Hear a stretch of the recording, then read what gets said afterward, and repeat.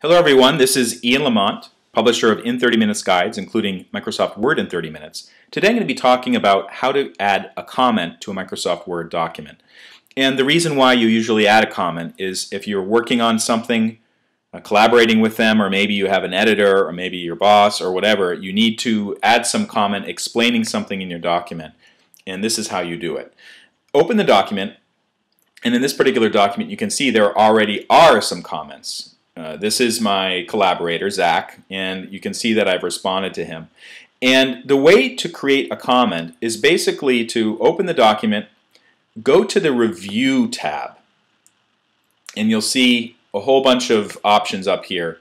If you want to add a comment, like let's say that I wanted Zach to take another look at this paragraph right here. So I might you just highlight a bit of text, or you can highlight the whole paragraph, and then I can say, just click the New Comment button. There's also a keyboard shortcut. And Zach, could you take another look, oops, another look at this graph? Okay? And so then click off that. And you'll see that the comment is, is there. It's also color coded. So Microsoft Word, if there's more than one person opening a document, it'll put different colors on this. It doesn't matter if the document is saved on your local hard drive or if it's on OneDrive and you're collaborating with somebody and you're just using the same document. It will still do the color coding business. That's basically how to create a comment. If you go to your document and you don't see any comments and you know that they're there, basically the way to show them is go to the Review tab. There's a little drop down uh, right in the middle and there's a couple options, original, no markup, all markup, and simple markup.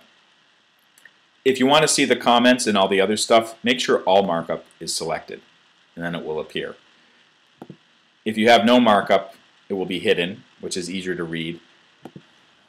But all markup will show the tracking as well as comments. And by the way, these won't show up in the printed document unless you want them to appear there. And basically the easy way to hide all that stuff is just to go to the drop down, no markup, and then print out the document.